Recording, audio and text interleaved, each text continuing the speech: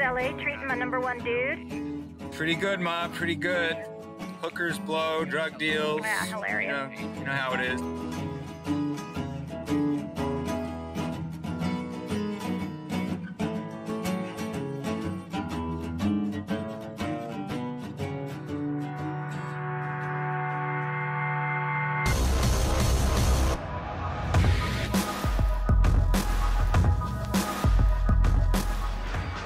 How did you know Friedgood?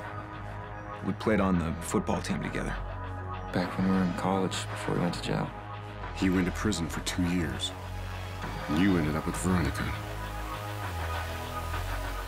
Invited him. He invited himself.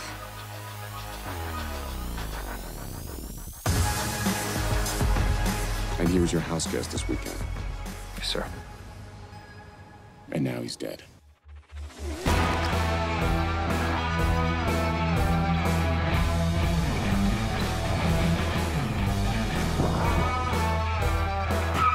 What